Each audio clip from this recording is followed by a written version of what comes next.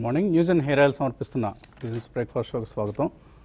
Global cues స్ట్రాంగ్గా ఉన్నాయి morning Tuesday morning. నిన్న మనం రంజాన్ కారణంగా సెలవు తీసుకున్నాం.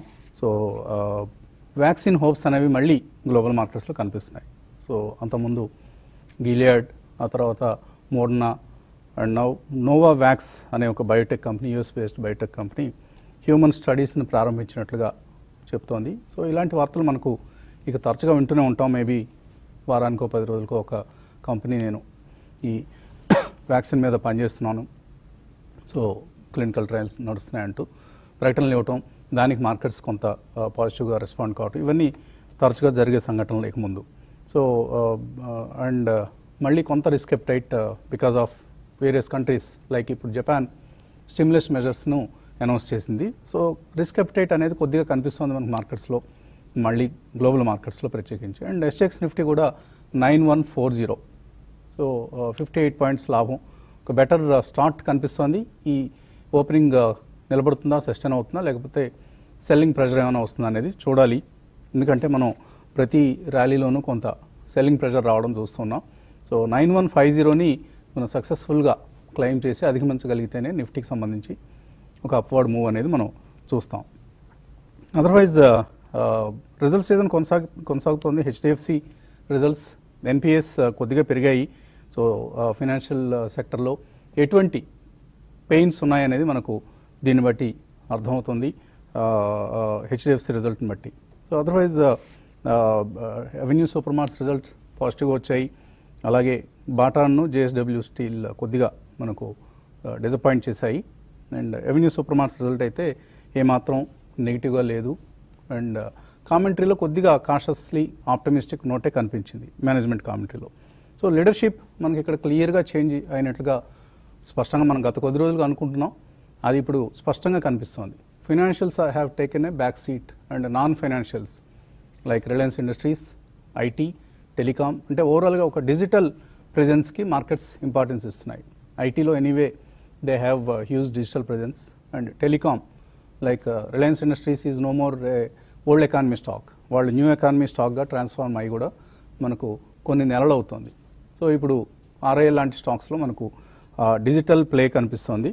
And RIL IT and telecom ఇవి ఇప్పుడు ఫినాన్షియల్స్ కంటే ఒక వన్ పర్సెంట్ ఎక్కువ వెయిటేజ్ మార్కెట్స్లో నిఫ్టీలో మనకు కనిపిస్తుంది. So ఫైనాన్షియల్స్కి around thirty one point nine percent ఉంటే IT plus RIL plus టెలికామ్కి thirty two point zero six percentage of weightage ఇండెక్స్లో కనిపిస్తుంది. సో అందరూ కూడా ఇప్పుడు నిఫ్టీ కొనటం బ్యాంక్ నిఫ్టీ సెల్ చేయడం ట్రేడర్స్ చేస్తున్న పని. సో అది వర్కౌట్ అవుతుంది కూడా. ఎందుకంటే మనకు ఈ నెలలో ఈ మేలోనే చూస్తే bank Nifty is down by twenty percent almost so ఎంత అండర్ పర్ఫార్మెన్స్ ఇదే సమయంలో Nifty is down only by less than seven percent so ఒక thirteen fourteen percent under performance in bank Nifty కనిపిస్తుంది. అలాగే ఫిఫ్టీ టూ వీక్లో నుంచి చూసినా కూడా bank Nifty is just seven percent away from its fifty two వీక్లో whereas Nifty is comfortably twenty percent question మనకు నిఫ్టీలో కనిపిస్తుంది. సో ఇలాగ మార్కెట్స్ రెండు భాగాలుగా లైక్ ఎలా అయితే గ్లోబల్గా మనకు developing markets versus emerging markets అంటూ మనం కంపేర్ చేస్తామో ఇక్కడ మన ఇండియాలో కూడా ఇండియన్ ఈక్విటీస్లో కూడా ఫైనాన్షియల్స్ వర్సెస్ నాన్ ఫైనాన్షియల్స్ ఇది మనకు ప్రస్తుతం కనిపిస్తున్న ట్రెండ్ ఇది. మనం భారతీయ ఎయిర్టెల్ రిలయన్స్ లాంటి స్టాక్స్ ఎంత చక్కటి రిటర్న్స్ ఈ లాస్ట్ వన్ ఇయర్లో ఇచ్చాయో మనం చూసాం. ఫర్ ఇన్స్టెన్స్ భారతీయను చూస్తే లాస్ట్ వన్ ఇయర్లో సెవెంటీ టూ పర్సెంట్ ఆల్మోస్ట్ ఇప్పుడున్న five ninety three rupees price తీసుకుంటే టూ ఫార్టీ సెవెన్ రూపీస్ పెరిగింది ఫిఫ్టీ టూ వీక్ లోస్ నుంచి సో లాస్ట్ వన్ ఇయర్లోనే ఇది ఇటువంటి రేట్స్ మనం ఒక two three years back Bharti land స్టాక్ని కొనొచ్చా అంటే కొద్ది మంది మాత్రం ఆప్టమిస్టిక్గా ఉండేవాళ్ళు. చాలామంది వద్దనేవాళ్ళు. Don't buy Bharti it is a very risky stock telecom never created wealth for investors ఇలా రకరకాలుగా చెప్పడం జరుగుతూ ఉండేది. బట్ ప్రమోటర్స్ చాలా రెసిలియంట్గా చాలా కమిటెడ్గా చాలా డెడికేటెడ్గా వాళ్ళ బిజినెస్ని కాపాడుకుంటూ వచ్చారు. అండ్ అది ఇప్పుడు ఫలితాలను ఇస్తుంది ఫ్రూట్స్ని ఇస్తుంది. సో అందుకనే మనం చెప్తూ ఉంటాం పదే పదే ఏ స్టాక్ని ఏ సెక్టర్ని కూడా బ్లైండ్గా అలా తీసి పారేయలేం ఎప్పుడో ఒకప్పుడు ఆ సెక్టర్కి మంచి రోజులు వస్తాయి. పేషెన్స్ కనుక ఉంటే బాగా డౌన్ ట్రెండ్లో ఉన్నప్పుడు కనుక అటువంటి స్టాక్స్ కొనగలిగితే లాంగ్ రన్లో డెఫినెట్లీ డబ్బులు వస్తాయి. సో అది మనం పదే పదే అనుకునేది.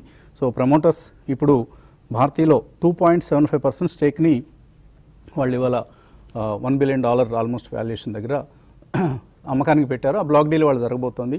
సో విత్ ఇన్ సెకండ్స్ ఎవరో ఇన్స్టిట్యూషనల్ ఇన్వెస్టర్స్ లేకపోతే హెచ్ఎన్ఎస్ కొనేస్తారు. అందులో ఏమీ పెద్దగా మనకు ఆశ్చర్యం లేదు. ఎందుకంటే ఇంతకుముందు హెచ్యుఎల్ బ్లాక్ డీల్ అప్పుడు కూడా మనం చూసాం. టక్మన్ అలా ఎగిరిపోయే షేర్లు విత్ ఇన్ సెకండ్స్ అలాగే భారతీయలో కూడా ఇప్పుడు జరుగుతుంది. ఆల్ ఇన్ ఆల్ మనం చెప్తుంది ఏంటంటే డిజిటల్ బిజినెసెస్కి డిజిటల్ బిజినెస్లో ప్రెజెన్స్ ఉన్న కంపెనీస్కి ఇప్పుడు మార్కెట్స్లో వాల్యూ దొరుకుతుంది. అలాగే రేపు జియో మార్ట్ ఇప్పుడు యాక్టివ్గా ఆల్రెడీ చాలా సిటీస్లో జియో మార్ట్ ఆపరేషన్ స్టార్ట్ అయ్యాయి. బెంగళూరు ముంబై కోల్కతా హైదరాబాద్ అలా ఒక రెండు వందల సిటీస్ అండ్ టౌన్స్లో వాళ్ళ కిరాణా స్టోర్స్తో జియో మార్ట్ ఒక ఒప్పందం చేసుకుంది. సో వెబ్సైట్లో మనం మన ఇంటి దగ్గరలో ఉన్న కిరాణా షాప్ నుంచి కనుక కిరా షా గూడ్స్ ఆర్ ప్రొడక్ట్స్ని మనం ఆర్డర్ చేస్తే ఇంటికి డెలివరీ చేస్తారు. సో ఇది జియో మార్ట్ ప్రవేశపెట్టిన ఒక వెబ్సైట్ అండ్ యాప్ విధానం. ప్రస్తుతానికి ఇంకా యాప్ కొద్దిగా వెనుకంజలో ఉంది. వెబ్సైట్ ద్వారా ప్రస్తుతానికి మనం ఆర్డర్స్ ప్లేస్ చేసుకోవచ్చు. సో దేశవ్యాప్తంగా కొన్ని లక్షల కిరాణా స్టోర్స్తో Reliance Industries I mean Reliance Jio tie ups చేసుకుంది. సో ఇది ఇటు కిరాణా వాళ్ళకి అటు జియోకి కూడా చాలా విన్ విన్ సిచ్యువేషన్. సో భవిష్యత్తులో ఇటువంటి డీల్సే మనం ఎక్కువగా చూస్తాం. సో ఇంకొక సెక్టర్ మనం డిజిటల్ ప్రజెన్స్ కారణంగా బెనిఫిట్ అయ్యే సెక్టర్స్ రిటైల్ సెక్టర్. సో అది డిమార్ట్ కావచ్చు ఆర్ ట్రెంట్ కావచ్చు or Aditya Birla fashion retail కావచ్చు. ఇలాంటి స్టాక్స్ అన్నీ కూడా రాబోయే రోజుల్లో అవుట్ పర్ఫామ్ చేసే అవకాశం ఉంది. Because they real estate cost will come down because of the digital presence. So వాళ్ళు ఆన్లైన్ ప్రెజెన్స్ పెంచుకున్న కొద్దీ రియల్ ఎస్టేట్ కాస్ట్ పెరుగుతాయి. దానివల్ల మార్జిన్స్ ఇంప్రూవ్ అవుతాయి. కాబట్టి ఒక్క ఒక్క కన్ను మాత్రం రిటైల్ సెక్టర్ మీద వేసి ఉంచడం మంచిది. ఇప్పటి నుంచి అట్రాక్టివ్లీ వాల్యూడ్ స్టాక్స్ని మనం బై చేయొచ్చు కూడా కొనుగోలు చేయొచ్చు కూడా. సో ఇలాంటి ట్రెండ్స్ని కనుక మనం ఫాలో అవుతూ వెళ్ళాలి మార్కెట్స్లో ప్రతిసారి మనం చెప్పుకునేది. ఒక ట్రెండ్కి తగ్గట్లుగా మనం వాక్ చేయాలి. Trend is your friend so trend walking కనుక మనం చేయలేకపోతే డబ్బులు చేసుకోలేం పోగొట్టుకుంటాం అని కూడా మనం చెప్తూ ఉంటాం. So financials have taken a back seat non financials are going ahead ఇది కనిపిస్తున్న స్పష్టంగా కనిపిస్తున్న ట్రెండ్ ఎనలిస్ట్ ఏమంటున్నారు అడిగి తెలుసుకుందాం. గుడ్ మార్నింగ్ కుటుంబరావు గారు. గుడ్ మార్నింగ్ అండి వసంత్ గారు. సో ఏంటి ఇవాళ మనకు ఎక్స్పైరీ వీక్ ఇది. సో ఎక్స్పైరీని సమీపిస్తున్నాం. And nine one four eight కనిపిస్తోంది. ఎక్కడైతే మనకు ఒక స్ట్రాంగ్ రెసిస్టెన్స్ నిఫ్టీకి ఎదురవుతుందో అక్కడ ఓపెనింగ్ ఎస్ఎక్స్ నిఫ్టీ చెప్తోంది. సో ఏమిటి ఎటువంటి ట్రెండ్ మీరు ఎక్స్పెక్ట్ చేస్తున్నారు? ఇవాళ మార్కెట్స్ పాజిటివ్గా క్లోజ్ అయితే ఈ సెటిల్మెంట్ పాజిటివ్గా క్లోజ్ అయ్యే పాసిబిలిటీ ఉందండి. ఎందుకంటే settlement in the sense weekly first నేను చూసేది థర్స్డే వీక్లీ సెటిల్మెంట్ తర్వాత మంత్లీ సెటిల్మెంట్ కూడా స్టాక్ ఫ్యూచర్స్ అన్ని కూడా అనమాట డిసైడ్ అవుతాయి. బట్ లాస్ట్ త్రీ వీక్స్ ఏదైతే గనక ఓవరాల్గా Nifty on weekly basis negative close అయిందో దాన్ని బ్రేక్ అయ్యి ఈ వీక్ పాజిటివ్గా క్లోజ్ అయ్యే పాసిబిలిటీ కొంచెం కనిపిస్తుంది. బట్ పాజిటివ్గా క్లోజ్ అవ్వాలి అని అంటే కూడా నేను అనుకోవటం ఇవాళ day particularly very crucial ninety one పైన ఇవాళ క్లోజ్ అవ్వాలి. ఎందుకంటే ఇవాళ నిన్న యుఎస్ మార్కెట్స్ కూడా క్లోజ్ ఉండటంతో మెమోరియల్ డేకి ఇవాళ ఏషియన్ మార్కెట్స్ అన్ని కూడా పాజిటివ్గా ఏషియన్ మార్కెట్స్ అన్ని పాజిటివ్గా ట్రేడ్ అవటం కూడా మనం చూస్తున్నాం. దాని ఇంపాక్ట్ మన పైన కూడా ఉండొచ్చు. అండ్ రిజల్ట్స్ కూడా బై అండ్ లార్జ్ ఏవైతే రిజల్ట్స్ వచ్చినాయో uh, they are more than positive అనే చెప్పాలి. ఎందుకంటే ఒకటి రెండు జిఎస్టీ ఎన్పిఏ ప్రెజర్ చూపించినా కూడా సర్ప్రైజింగ్లీ ఐడిఎఫ్సి ఫస్ట్ తెల్ల బ్యాంక్ ఎక్స్ట్రీమ్లీ గుడ్ రిజల్ట్ ఇచ్చింది. బీటీపీ బ్యాడ్ రిజల్ట్ ఇచ్చింది. ఎస్ఎల్ ప్రోపాక్ మంచి రిజల్ట్ ఇచ్చింది. కాబట్టి ఇట్లా కలెక్టివ్గా రిజల్ట్ అని కేర్ఫుల్గా అబ్జర్వ్ చేయమంటే ఇన్వెస్టర్స్ కూడా ఏ కంపెనీ అయితే మంచి రిజల్ట్ ఇచ్చిందో దానికే స్టిక్ అవ్వాలన్నమాట. అండ్ ఏదైతే సెక్టార్ చర్నింగ్ అవుతుందో అది కంటిన్యూ అవుతుంది. నేను లాస్ట్ వీక్ చెప్పాను స్టార్టింగ్లో. Maybe we're the only channel మనం చెప్పింది సిమెంట్ స్టాక్స్ బాగుండొచ్చు ఈ వారం చాలా రెసిలియంట్గా ఉంటాయి అని చెప్పేసి. అండ్ సిమెంట్ స్టాక్స్ ఎంత బాగా పెర్ఫామ్ చేస్తే లాస్ట్ వీక్ మనం చూస్తే ఇన్ఫాక్ట్ అంబుజా లాంటిది twenty day hundred day moving average కూడా క్రాస్ క్రాస్ అవుతాం చూస్తాం లాస్ట్ శుక్రవారం నాడు అనమాట అండ్ ఎస్టీ సిమెంట్ అన్ని కూడా లోవర్ లెవెల్స్ నుంచి ఎట్లా ర్యాలీ అయింది కూడా మనం చూసాం గత వారం. ఈ వారం మోస్ట్లీ ఎంటర్టైన్మెంట్ స్టాక్స్ కూడా బాగుండొచ్చు. జీ లాంటి స్టాక్ ఏదైతే లోవర్ లెవెల్స్ నుంచి బాగా జంప్ అయిందో కరెంట్ లెవెల్స్ నుంచి కూడా క్రాస్ అయ్యి ఇది ఇంప్రూవ్ అయ్యి టూ హండ్రెడ్ రూపీస్ క్రాస్ అయ్యే పాసిబిలిటీ కనిపిస్తుంది ఎందుకంటే మీడియా స్టాక్స్లో బాగా ఇంట్రెస్ట్ వస్తుంది. They are also treated as new generation stocks అనమాట ఇప్పుడు. అండ్ కన్సాలిడేషన్ ఏదైతే ఇండియాలో అవుతుందో మీడియా దాని impact one of the few listed entities Zee కాబట్టి జీరో కనిపిస్తుంది. ఎందుకంటే మోర్ ఓవర్ ఇప్పుడు మేనేజ్మెంట్ చంద్ర గారి దగ్గర లేదు. It is with group of private equity investors కాబట్టి మేనేజ్మెంట్ క్వాలిటీ పైన కూడా కాస్త కన్సర్న్స్ తగ్గింది.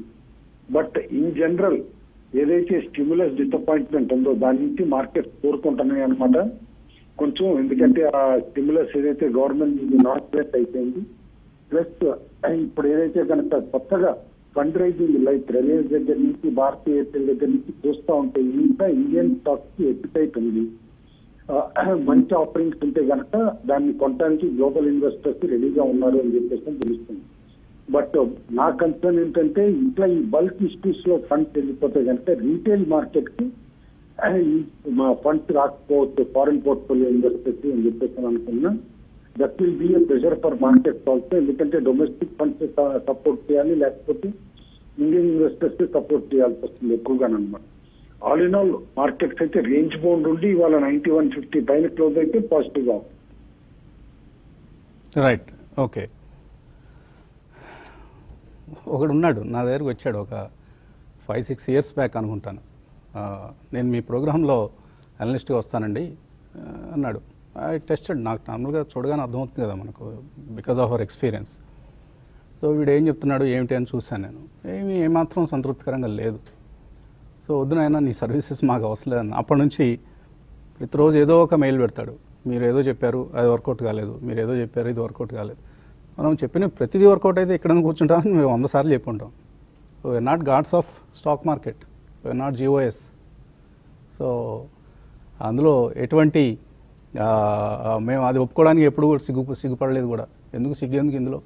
So we're always frank with you so ప్రతి వర్క్షాప్లోనే అదే చెప్తాం ప్రతి ప్రోగ్రాంలో అనేది చెప్తాం.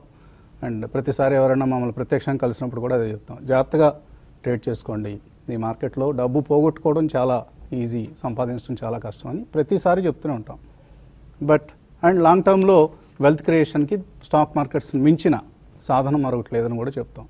సో ఎన్నో జాగ్రత్తలు చెప్తుంటాం. ఆ జాగ్రత్తలన్నీ పక్కన పెట్టి ఎవరైనా ట్రేడ్ చేసి డబ్బులు పోగొట్టుకుంటే అది సెల్ఫ్ రెస్పాన్సిబిలిటీనే. మనం ప్రతిసారి చెప్పుకునేది. ఈ మార్కెట్లో ఎవరు ఎవరికి బాధ్యులు కారు. సో ప్రతిరోజు ఒక ఏదో ఒక మెయిల్ పెడతాడు. ఏ పొద్దున్నే చూడగానే వాడిని బ్లాక్ చేసేయచ్చు స్పామ్లో పెట్టేయచ్చు. But normally I don't have that habit feedback ఎప్పుడు తీసుకుంటూనే ఉంటాను. పాజిటివ్ అయినా నెగిటివ్ అయినా కూడా. సో అప్పుడప్పుడు పొద్దున్నే ఈ మూడు ఖరాబ్ చేస్తే ఇటువంటివి జరుగుతూ ఉంటాయి అందరి లైఫ్లో జరుగుతుంటాయి. సో మాకు కూడా ఇవి జరుగుతుంటాయని చెప్పడం కోసమే ఈ విషయాన్ని ప్రస్తావించడం జరిగింది. Nothing to worry will all make money ప్రతి మార్కెట్లోనూ మనకు డబ్బు చేసుకునే ఆపర్చునిటీస్ ఉంటాయి. వాటిని మీకు ఎప్పటికప్పుడు వివరించడంలో ఏమాత్రం మేము వెనకంజ వేయం. Because of these kind of mails letters feedbacks whatever చిన్న బ్రేక్ తీసుకున్నా బ్రేక్ తర్వాత రాజేంద్ర గారితో బాలగారితో మాట్లాడదాం.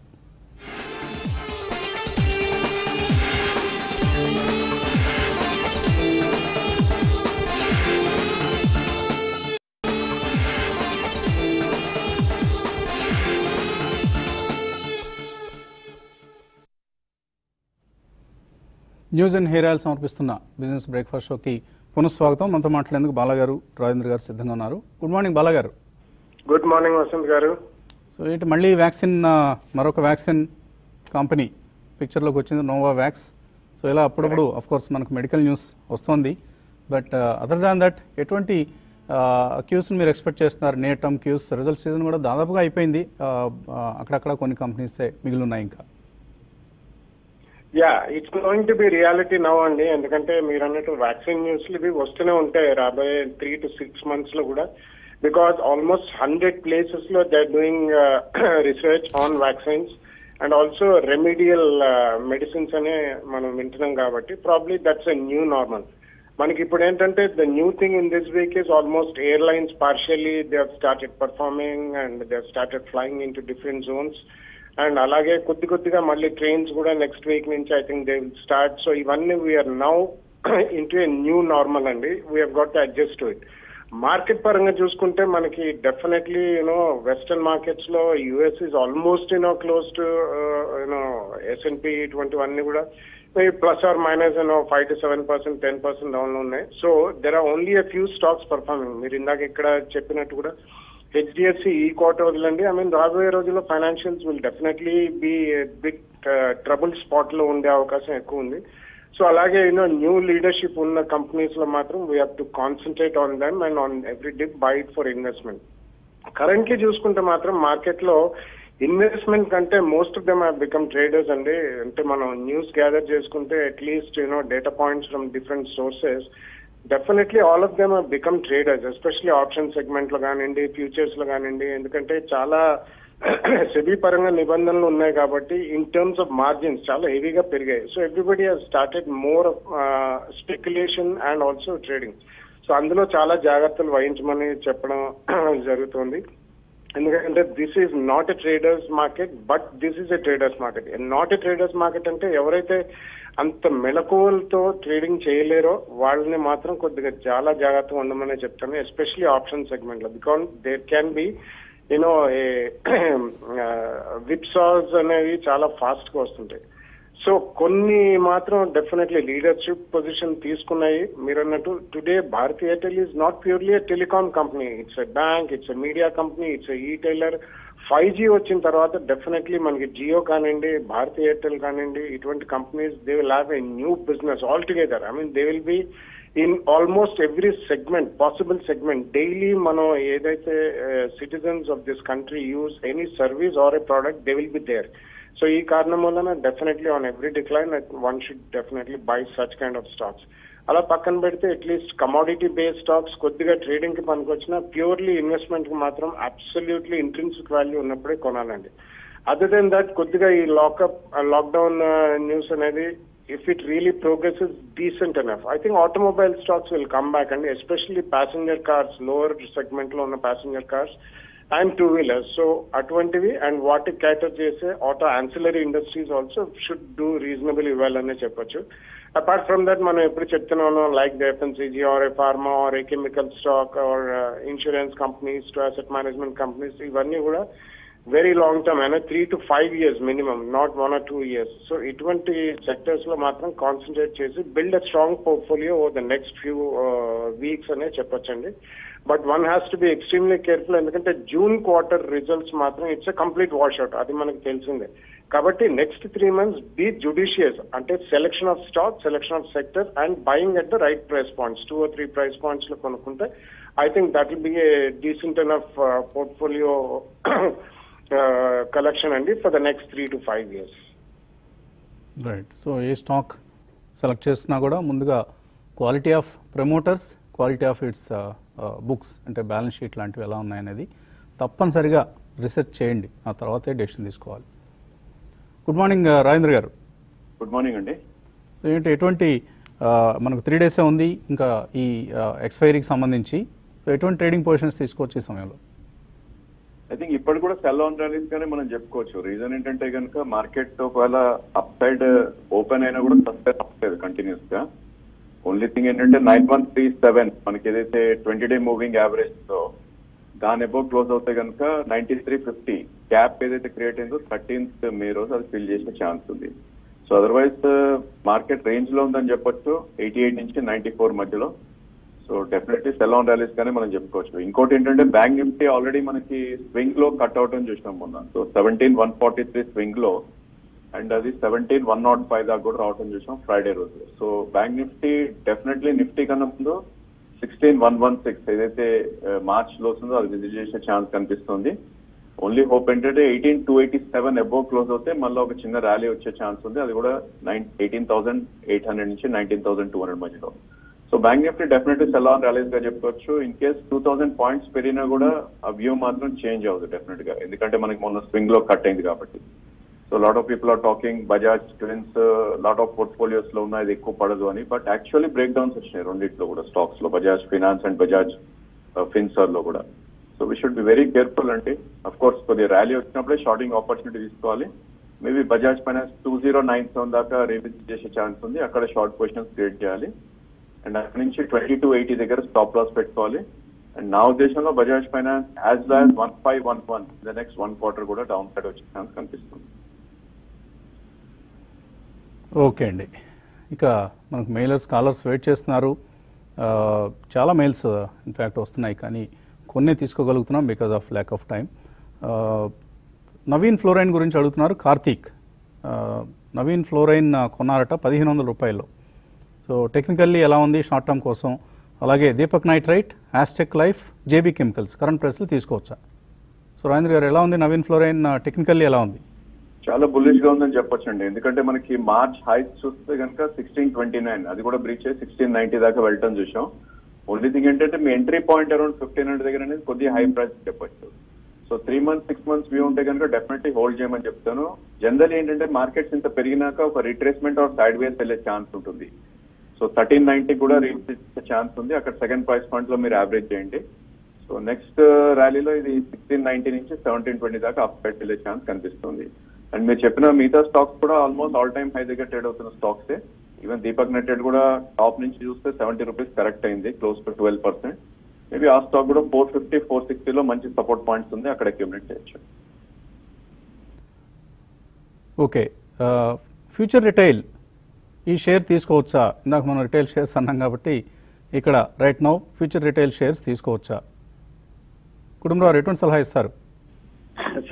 అవాయిడ్ చేయమంటారండి. కంపెనీ కాస్త ఫైనాన్షియల్ ప్రాబ్లమ్స్ ఉన్నాయి and more over they are going for fund raising exercise only chance company పెరగటానికంటే MMD activity అంటే ఎవరైనా టేక్ ఓవర్ చేస్తారు ఇట్లా అని చెప్పేసి అని చూస్తే తప్పితే otherwise nothing spectacular to go forward so మనం రిటైల్ అనగానే ఏది బాగా తక్ తక్కువ రేట్లో ఉంది ఆరు రూపాయలు పది రూపాయల లోపల ఉందని చూస్తారు. That that should not be the criteria అండి. డెట్ బర్డెన్ బాగా ఉన్న కంపెనీస్ వాళ్ళకి వెళ్ళదు రిటైల్లో కూడా. ఏవైతే లైట్ డెట్ ఉందో అండ్ వీటికైతే ఇప్పుడు ఈ డిజిటల్ ప్రజెన్స్ అనేది లాభం చేకూర్చబోతుందో అటువంటి స్టాక్స్ ఇందాక మనం కొన్ని స్టాక్స్ నేమ్స్ కూడా అనుకున్నాం వాటికి మాత్రమే కన్ఫైన్ అవ్వండి. తర్వాత Jeevan Reddy UPL and Deepak Nitrate ఈ రెండింటికి సంబంధించి ఎటువంటి సలహా ఇస్తారు? పొజిషన్స్ ఉన్నాయట ఆల్రెడీ హోల్డ్ చేయొచ్చా?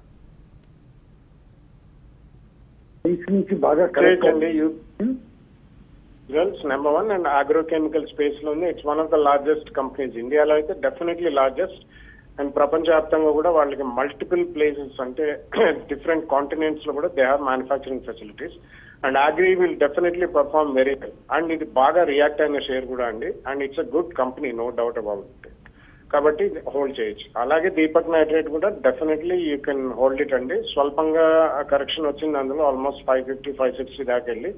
But future is going to be definitely good for Deepak Nitrate. ఎందుకంటే లాస్ట్ ఇయర్ వాళ్ళు ఒక మెగా ఎక్స్పాన్షన్ అనేది వాళ్ళు చేసి పూర్తి చేసి దాని ఫాలోఅవుట్ అనేది రాబోయే టూ త్రీ ఇయర్స్లో ఆ కెమికల్స్ ప్లస్ దాని డెరివేటివ్స్ ఫైన్ కెమికల్స్ కూడా వెళ్తున్నారు కాబట్టి Deepak Nitrate is also a hold తర్వాత శ్రావ్య బజాజ్ ఫైనాన్స్ ఉన్నాయట. చోళమండల ఇన్వెస్ట్మెంట్ కూడా ఉన్నాయి. ఫైవ్ ఇయర్స్ విత్ హోల్డ్ చేయొచ్చు రెండు స్టాక్స్ని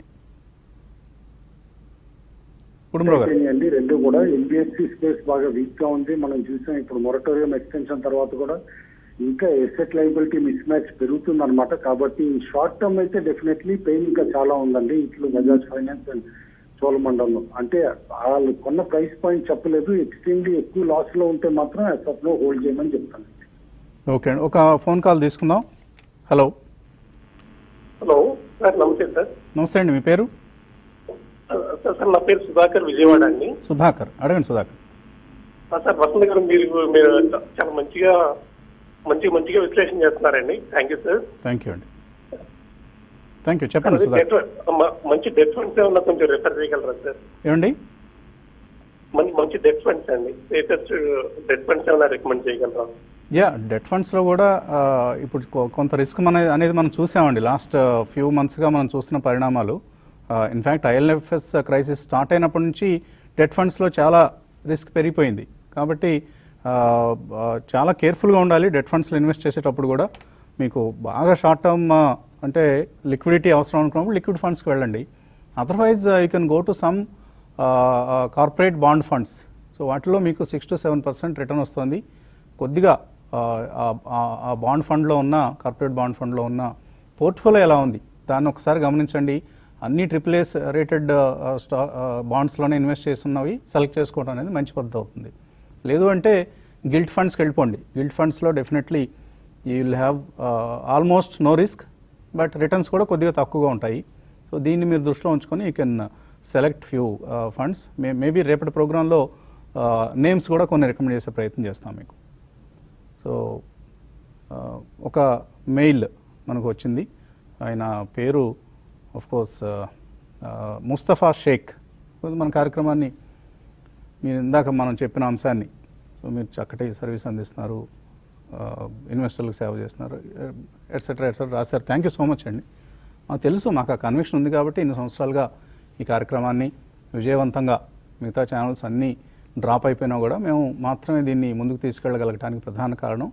మాకు ఆ కన్విక్షన్ ఉంది. మా ఇన్వెస్టర్స్ మమ్మల్ని బిలీవ్ చేస్తున్నారనే సంగతి మాకు తెలుసు కాబట్టి నడిపిస్తున్నాం. లేకపోతే మేము కూడా ఎప్పుడో డ్రాప్ అయిపోయేవాళ్ళం. ఎందుకంటే ఈ ప్రోగ్రామ్ చేస్తున్న వలన మాకు పెద్దగా లాభం చేకూరదు ఏం లేదు. మీ వ్యూవర్షిప్ ఒకటి వస్తుంది డెఫినెట్లీ బట్ అంతకు మించి మాకు పెద్దగా గెయిన్స్ ఏం లేవు.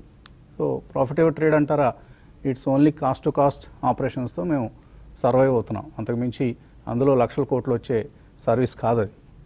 Only thing is doing some service for the Telugu states investors and traders that is the only objective అర్థం చేసుకునే దాన్ని మధ్యాహ్నం రెండున్నరకి ఇవాళ చాలా ఇంపార్టెంట్ టాపిక్ డేటా సైన్స్ మనం అందరం అనుకుంటున్నాం job losses job losses job losses ఉద్యోగాలు పోతున్నాయి అని. కానీ ఫ్యూ సెక్టర్స్లో మాత్రం ఎవర్ గ్రీన్ సెక్టర్స్ అండ్ అక్కడ ఇంకా షార్టేజ్ చాలా ఉంది. One of the sectors is data sciences అలాగే సైబర్ సెక్యూరిటీ కూడా ఉంది. ఇవాళ మనం డేటా సైన్సెస్ గురించి మాట్లాడుకోబోతున్నాం. Infosys Technologies associate vice president వస్తున్నారు. అలాగే ఇన్నోమైండ్స్ ఎగ్జిక్యూటివ్ వైస్ ప్రెసిడెంట్ వస్తున్నారు. టాప్ లెవెల్ పీపుల్ని మనం తీసుకొచ్చి డేటా సైన్స్ గురించి కంప్యూటర్స్ సైన్స్ ఇంజనీరింగ్ అలాగే ఇప్పుడిప్పుడు ఐటీ ప్రొఫెషనల్స్లో జూనియర్ లెవెల్స్ ఉన్నవాళ్ళు వాళ్ళకి ఒక చక్కటి అవగాహన ఏర్పరిచేందుకు మీ నుంచి కాల్స్ కూడా తీసుకుంటాం. మీకు ఏమైనా డౌట్స్ ఉంటే be ready with your doubts ఇవాళ మధ్యాహ్నం హైసియాతో కలిసి టీవీ ఫైవ్ చేస్తున్న ఎక్స్క్లూజివ్ లెర్నింగ్ సిరీస్ ఇవాళ మధ్యాహ్నం రెండున్నరకి యంగ్ వరల్డ్లో. Keep watching TV five.